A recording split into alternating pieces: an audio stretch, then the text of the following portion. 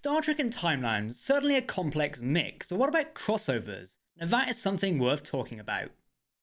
Hello everyone, my name is Captain Jack and welcome to Trek Central. The Star Trek franchise is no stranger to inter-universe crossovers. Scotty, McCoy, Spock and Bashir on Next Generation, or Riker on Voyager, Lower Decks and Deep Space Nine.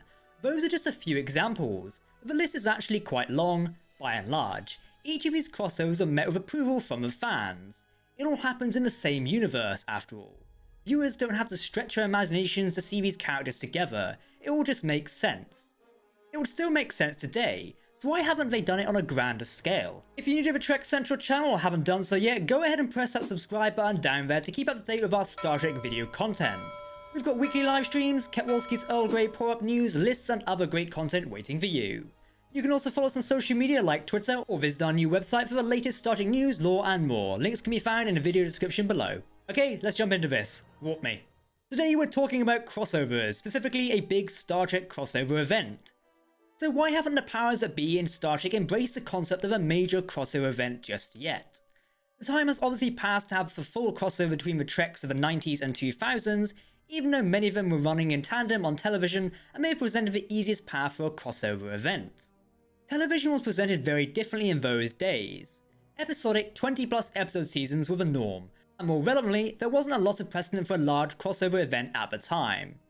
Today, on the other hand, Star Trek television is presented in a smaller, more digestible chunks, with seasons running fewer than half as many episodes and shows not running in parallel but in sequence, so that one series begins after another ends.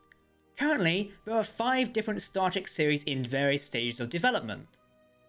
Star Trek Discovery, Picard, and Strange New Worlds are the live action series, while the animated series of Lower Decks and Prodigy round out the current franchise.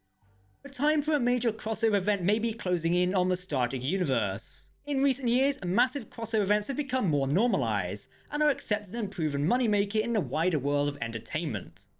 For example, of a massive crossovers being successful in movies, one need not look much further than the success of the Marvel Cinematic Universe, a reason to get into a large-scale crossover event business. Heroes are established within their own movies, or as secondary characters in someone else's, and every now and then the different characters come together to solve a common problem in a massive crossover event, like the Avengers movies or Captain America Civil War. Another prime example is Disney's own Star Wars The Mandalorian, and how that show has seen characters crossover from other shows, such as The Clone Wars and Star Wars Rebels. It would seem the crossovers are becoming the new norm for some franchises. With the recent announcement that Kalinda Vazquez, a writer who has written for Star Trek Discovery, is penning a script for a new movie, speculation season has started, and it's appropriate to guess that this new movie might focus on one or more of the new Trek shows, and could easily be a crossover event film. We're still very early on in the development process, though, so it's difficult to speculate on what this might be or might not be about. Given a Bad Robot, the company behind 2009 Star Trek, is involved, there's also the possibility of a Kelvin timeline script emerging.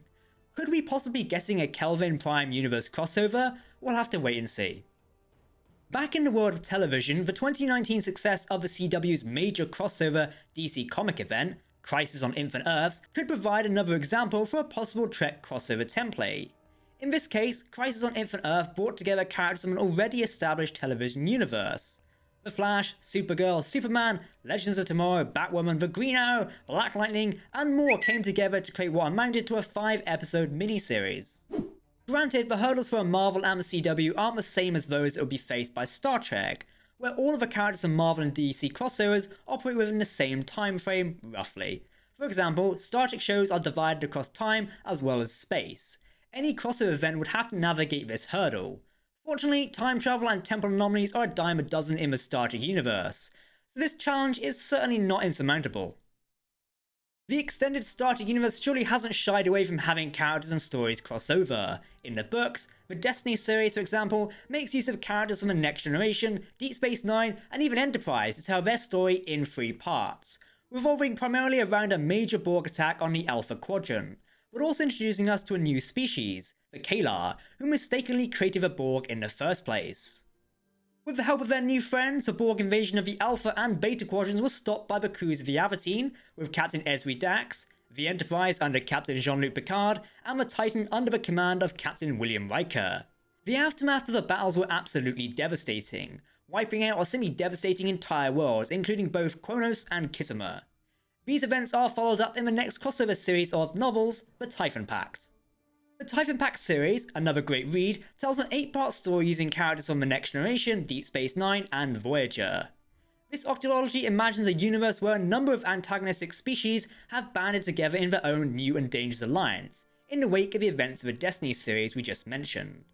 The Romulan Star Empire, Breen Confederacy, Tzenkethi Coalition, Gorn Hegemony, Tholian Assembly, and the Holy Order of Kinshaya stand together to prevent the Federation and its allies in the expanded Khitomer Accords from gaining power in the wake of such devastation.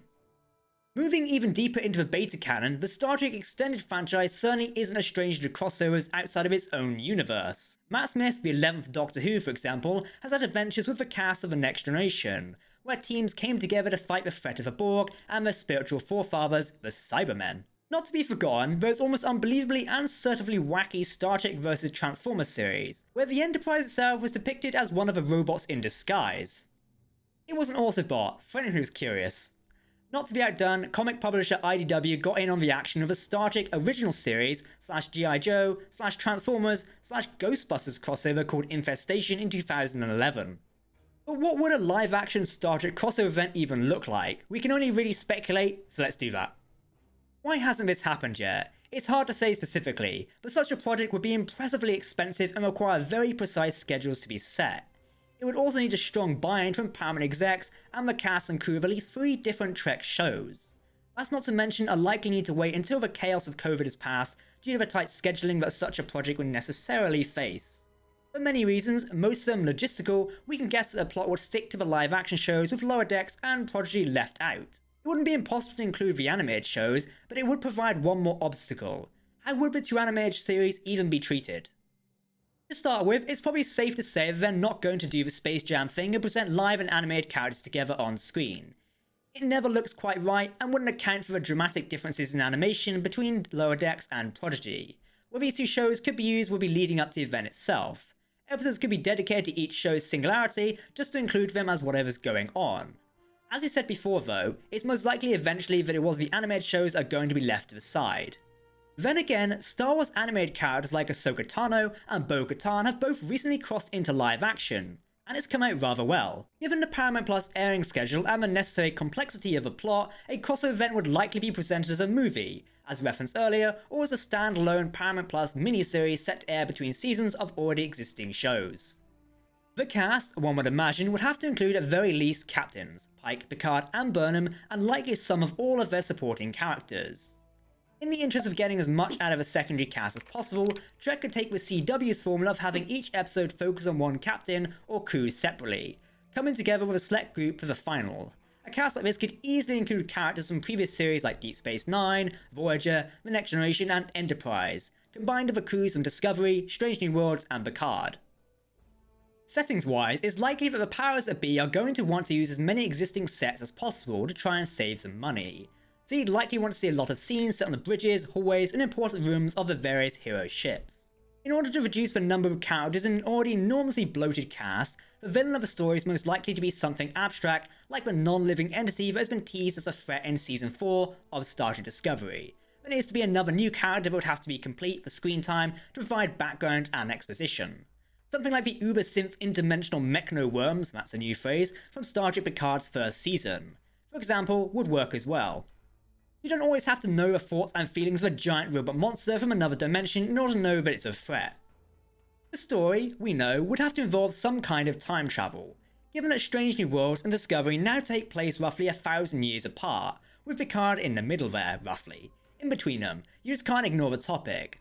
There are already a number of ways to time travel in Star Trek, temporal rifts, slingshotting around a star, transport accidents, Q, time ships Borg, Kuma from the future, the Nexus, tiny wormholes. Honestly, the list goes on, and I'd be here all day if I went for it. It's hard to say which direction a crossover might take. It would have to be something that allowed, as a minimum, for communication between time frames. There's more likely to be some kind of direct time travel. Who knows, we might get another visit from Paul Guilfoyle's Carl, otherwise known as the Guardian of Forever. The sentient portal, by Discovery's time, has grown cautious over the years, but would likely make an exception for some kind of intertemporal emergency.